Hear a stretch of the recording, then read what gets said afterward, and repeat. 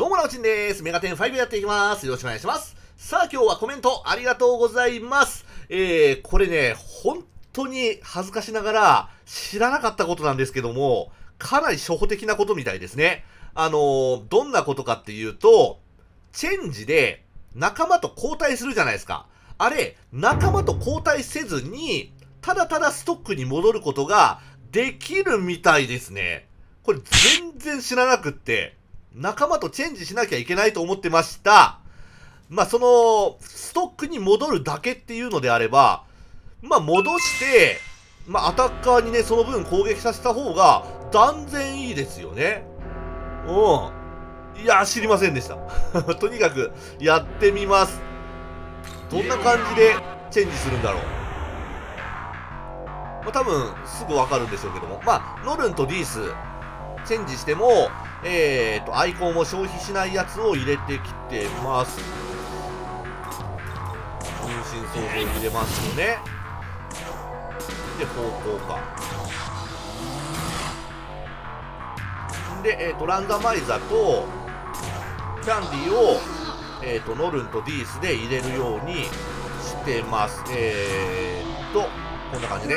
まあ、なんかすすごい音がしてる。で、ナホビホいらないので、えーと、ナホビホは、チェンジで、ゼウスね。うん。まあ、確かにあの、狂乱の宴とか入れるよりも、あの、一回攻撃できた方が全然強いからね。うん、そっちの方が断然強いから。そういうことですよ。はい、オッケー。それは全部主人公で見てくれます OK ターンで攻撃をするからね。でランダマイザー。でデバフ完璧。でラスタキャンディこれでバフ完璧ですね。えー、でもってまあここでゼウスが攻撃してもいいんでしょうけどもさせずにいきましょうか。OK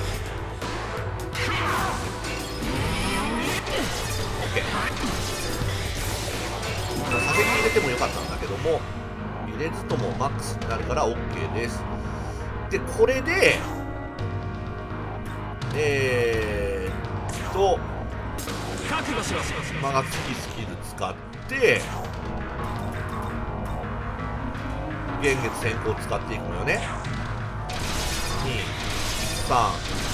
234でチェンジで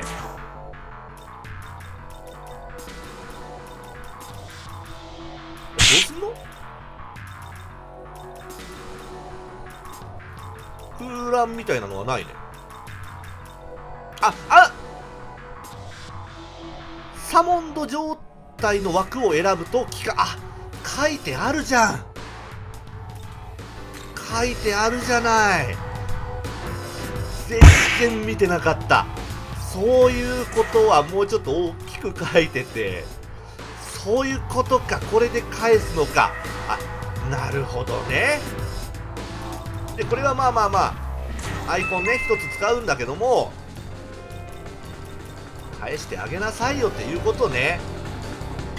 なるほど。でこれであと、まあ、クリティカルが出ればなんだけどもまあ出るからね、え123456回あと6回攻撃できる。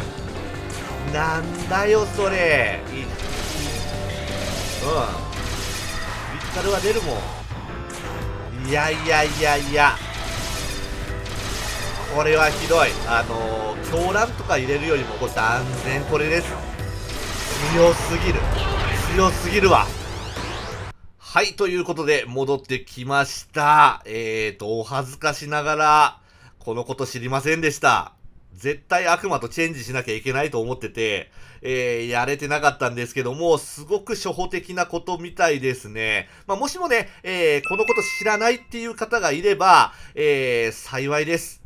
これ、チェンジで、えー、ただただ帰還することもできますので、えー、これすごく使えます。まあ、ただし、あの、連続戦闘の時は、まあ、次の時に主人公一人でスタートになってしまうので、すごくよろしくないんだけども、まあ、えー、次敵が出てこないっていうのであれば、これマジ最強ですね。